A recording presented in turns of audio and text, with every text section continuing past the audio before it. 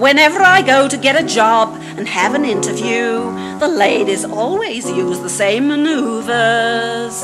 They tell me how short my hours will be, how little I'll have to do with their Electroluxes and their Hoovers. That's when I fix them with my coldest gaze and tell them what my husband Egbert says. If you can't get in the corners, you might as well give up.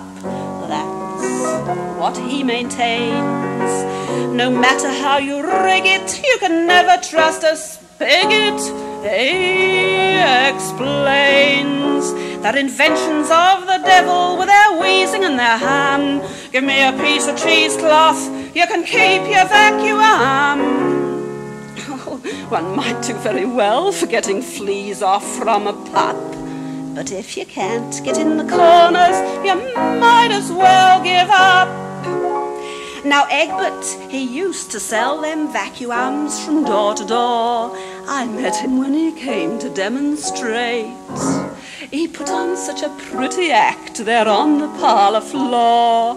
I fell in love, and soon he was my mate. But Egbert changed his tactics then and there. He said, You can put them devices, you know where.